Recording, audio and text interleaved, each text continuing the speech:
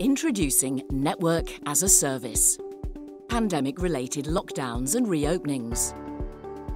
Hybrid workplaces. Digital transformation and a move to the edge. Exploding device numbers. New technologies like artificial intelligence and machine learning. Increased employee demands, an expectation to deliver business value. The pressure on your network has never been greater.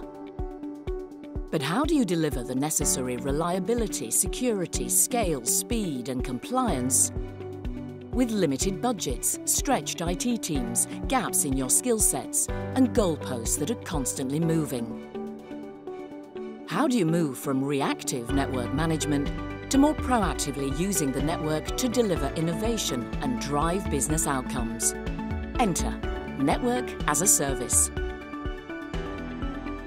Network as a Service typically refers to the delivery of network hardware, software and services by a third party on a subscription basis. Payments are recurring and may be structured based on your exact business requirements. The benefit of this is that you preserve your capital by paying only for what you use. You aren't locked into expensive infrastructure and rigid contracts. You have the flexibility to scale your network as needs change. In a growing number of cases, Network as a Service is also now being expanded to include third-party management of the network.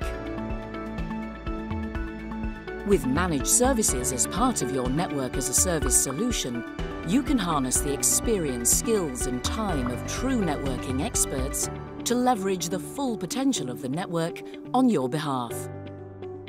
You get the assurance that the network will continue to run efficiently and can focus instead on what matters most, offering new capabilities and values to the business.